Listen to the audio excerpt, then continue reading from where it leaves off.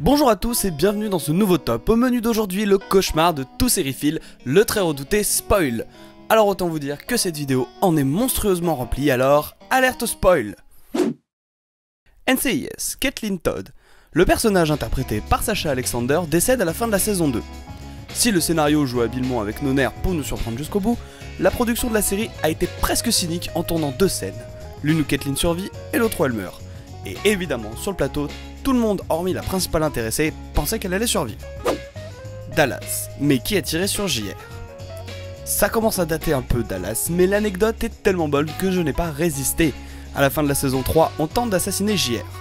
Résolu au début de la saison suivante, le suspense agite tout l'Amérique, allant jusqu'à intervenir dans la campagne présidentielle américaine, où les républicains arboraient des pimps où il était écrit, ironiquement, Democrats Kids JR. Alors même que le candidat démocrate clamait de son côté que s'il avait su qui avait tiré sur JR, il n'aurait jamais eu de problème pour financer sa campagne. The Walking Dead, Negan, le personnage si redouté par tous, interprété par l'effrayant Jeffrey Dean Morgan, fait une apparition aussi remarquée que sanglante lors du dernier épisode de la saison 6 dans laquelle il massacre sadiquement l'un des personnages de la série sans que son identité soit révélée évidemment. Avant la diffusion de la saison suivante, les théories dont certaines créées par les lecteurs des bandes dessinées déchaînent les passions.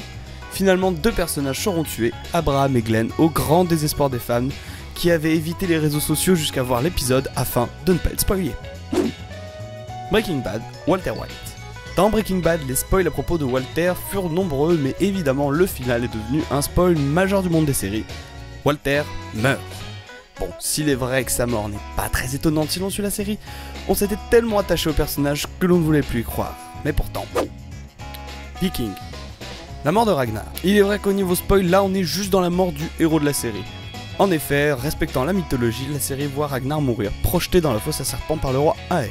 Mais Ragnar ne meurt jamais vraiment et son esprit reste dans la série à travers les visions de ses fils. Game of Thrones, Jon Snow. Alors ici on ne sait pas trop où est le spoil, dans la mort de Jon Snow assez inattendue, ou alors dans sa résurrection qu'il était beaucoup moins. Jon Snow meurt en effet temporairement entre la fin de la saison 5 et le début de la saison 6. Alors si beaucoup n'ont pas supporté ce long temps d'attente, il faut imaginer la douleur des lecteurs qui comme moi attendent depuis 2011 de savoir si Snow est réellement mort ou pas. Alors merci de nous avoir suivis, n'hésitez pas à aimer, partager, vous abonner à la chaîne ainsi qu'à nous faire part en commentaire des pires spoils que vous avez subis. À la prochaine